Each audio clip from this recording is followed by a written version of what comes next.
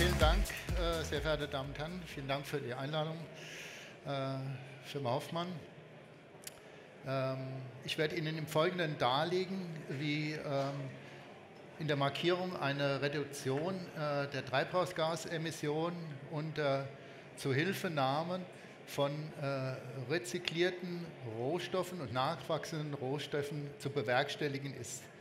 Ich damit beginne, ähm, möchte Sie kurz darauf aufmerksam machen, das Thema äh, Klima ist eines der äh, Top-Themen äh, in der derzeitigen Diskussion. Alle Experten sind sich einig, dass äh, gleichwertig bedeutend äh, das Thema Ressourcen in der Zukunft sein wird.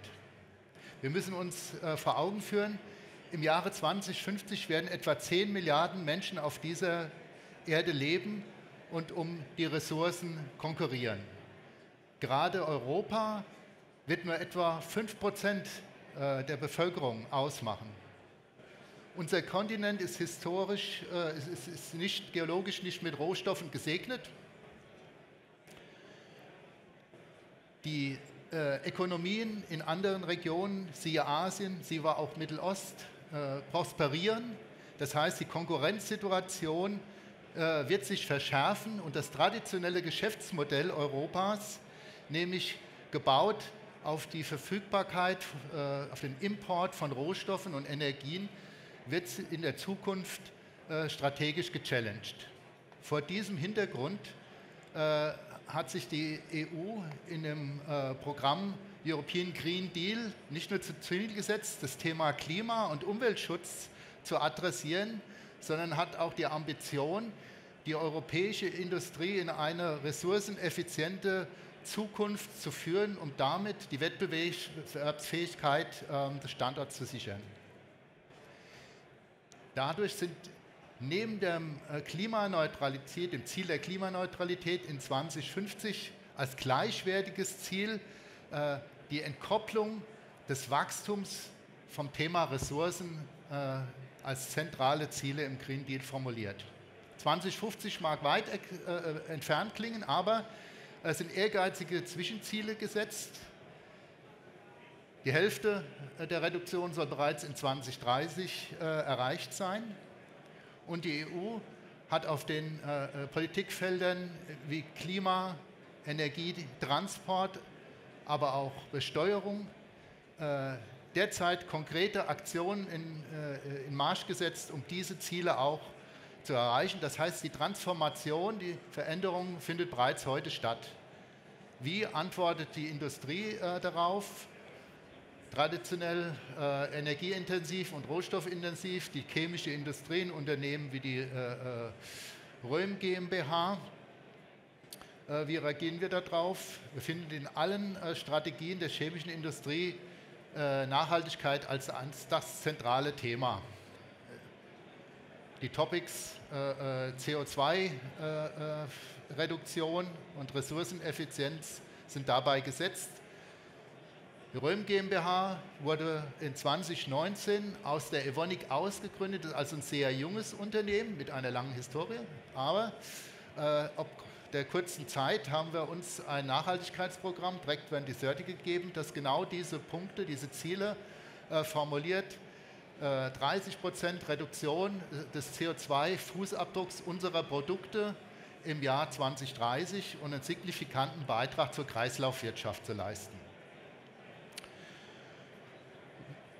Die Transformation in der chemischen Industrie ist auf dem Weg. Alle äh, großen Player, insbesondere die äh, Grundstoffchemiehersteller, wo die höchsten Energieeinträge, die höchsten CO2-Fußabdrücke sozusagen entstehen, äh, machen sich auf den Weg. Dabei spielt die ähm, Elektrifizierung der Prozesse und die Wasserstoffstrategie die entscheidende Rolle in der Zukunft.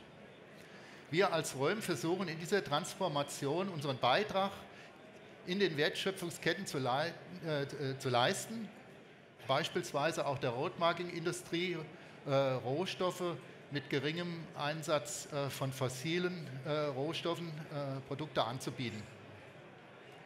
Die Maßnahmen, die wir also äh, konkret unternommen, äh, unternehmen derzeit, intensive Kontakte mit unseren Lieferanten, um uns Zugriff auf äh, Rohstoffe mit reduzierten äh, CO2-Emissionen zu sichern. unseren Energiemix zu verändern und ähnliches, aber auch äh, vermehrt rezyklierte Rohstoffe in unseren äh, Produkten einzusetzen und dabei einen Beitrag zur Kreislaufwirtschaft zu leisten. Beispiele zeige ich gleich. Es ist also ein ganzes Bündel von Maßnahmen, ähm, das ergriffen werden muss, und zwar in Kooperation entlang der Wertschöpfungskette, um solche Ziele, eingesetzte Ziele überhaupt zu erreichen. In gleicher Weise ist natürlich die Markierungsindustrie in der Zukunft herausgefordert, ähm, Beiträge zur Einsparung von Treibhausgasemissionen äh, zu leisten und Ressourceneffizienz zu steigern. Es finden sich schon heute äh, vereinzelt Anforderungen in Ausschreibungen äh, nach ähm, Größen wie äh, CO2-Emissionen der Markierungsstoffe. Und es gibt eine Intensivierung für CO2-reduzierte Markierungsstoffe, beispielsweise in den Niederlanden. Das Beispiel wird sicherlich in Zukunft Schule machen. Entlang der ganzen Wertschöpfungskette der Markierung ist von der Entstehung der Produkte bzw. von der Bereitstellung der Rohstoffe, beispielsweise der Bindemittel durch Röhm oder auch äh, äh, der äh, Herstellung der Produkte durch Formulierer wie Swaco, äh, sind Beiträge gefordert. Auch die Applikationstechnologie wird den Aspekt äh, Nachhaltigkeit äh, ähm, in Zukunft berücksichtigen müssen. Und ich habe heute Beispiele mitgebracht, um Ihnen das zu illustrieren erste Umsetzung. Wir haben äh, unsere bekannte Bindemittelpalette Degerot Bindemittel für Kaltplastik äh, erweitert, um äh, Produkte auf Basis von Rezyklat. Äh, erstes Beispiel ist Degerot Proterra 465. Äh, das ist ein Produkt, was zu 30 Prozent äh, aus rezykliertem Rohstoff, aus PMMA-Polymer, wie es etwa äh, in Stegplatten verbaut ist, Lärmschutzwänden auf Autobahnen, aber auch in den Backlight-Units, äh, Streuscheiben der, ihrer Laptops.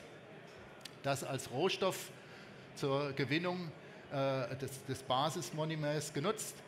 Er bietet eine Reduktion des CO2-Fußabdrucks gegenüber einem herkömmlichen fossil hergestellten Degerot 465 Bindemittel. Sie sehen hier in der Grafik den Vergleich äh, blau ist der CO2-Fußabdruck ähm, des äh, Proterra, des rezyklierten äh, Bindemittels, im Vergleich in Grau zum fossilbasierten Produkt.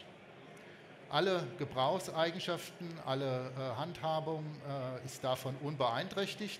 Wie hier in den Abbildungen gezeigt, hier sind Kaltplastikformulierungen aus beiden Bindemitteln hergestellt im oberen Graph sehen Sie die Viskositäten dieser Bindemittelformulierungen dargestellt, gegenübergestellt im unteren Graphen Topf- und Härtezeiten.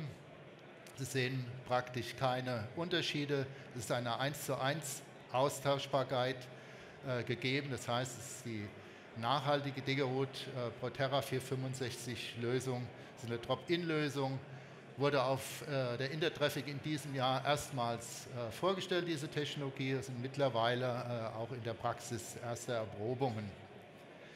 Auch äh, für Straßenmarkierungsfarben äh, bieten wir in äh, unserer Degalan-Bindemittel in Zukunft als Proterra-Version auf Basis rezyklierten PMMA an. Beispiel hier unser Degalan Proterra LP6412 hier sind 35 Prozent des Rohstoffes äh, auf Basis von Rezyklat äh, dargestellt, führt in diesem Fall zu einer Reduktion der Treibhausgasemissionen pro produzierter Einheit von 15 Prozent im Vergleich zum rein klassisch hergestellten Degalan-Bindemittel. Auch hier handelt es sich um äh, äh, 1 zu 1 Austauschbarkeit. Hier sehen Sie äh, die Formulierung einer äh, Markierungsfarbe äh, dargestellt, in Blau wieder auf Basis des nachhaltigen Bindemittels Degalan Proterra 6412. Oben die Trocknungszeit, im unteren Graphen der Vergleich der Viskositäten der Farben, absolut vergleichbare Eigenschaften. Hier eingesetzt in den Formulierungen sind die äh, klassischen, äh, rein fossil hergestellten Lösemittel, MEK, Butylacetat. Es liegt natürlich nahe, auch dort äh, nachhaltige Alternativen in anderen Formulierungen, nicht nur das Bindemittel, auch die Lösemittel bieten Ansatzpunkte. Und hier habe ich mal ein Beispiel mitgebracht. Hier sehen Sie die gleichen äh, Formulierungen, ersten beiden Balken. Die folgenden drei Balken sind Farbformulierungen auf Basis äh, biobasierter Lösemittel, ähm, auch Kombinationen derselben. Man sieht, man kommt in etwa in den üblichen Bereich an Viskositäten, ein linkes Diagramm, und kann durch äh, Blends solcher biobasierten Lösemittel durchaus auch die üblichen Trocknungszeiten darstellen. Also die Materialtechnologie auf Basis von rezyklierten oder nachwachsenden Rohstoffen ist verfügbar heute.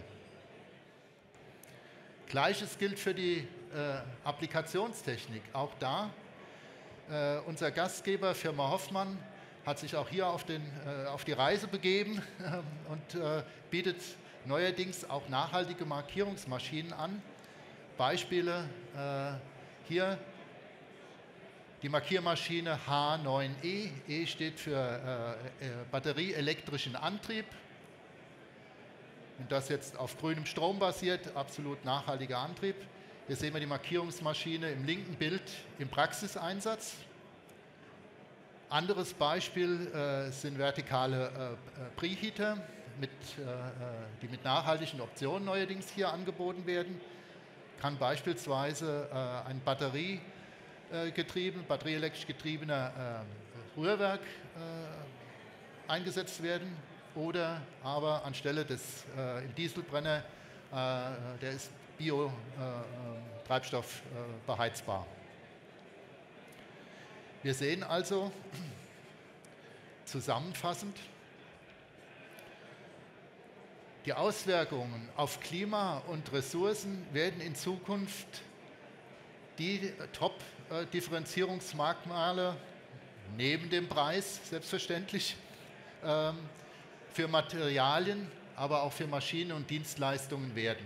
Wir sehen, wie gesagt, auch heute schon erste Regionen, erste Märkte, wo solche Anforderungen gestellt werden. Das wird Schule machen.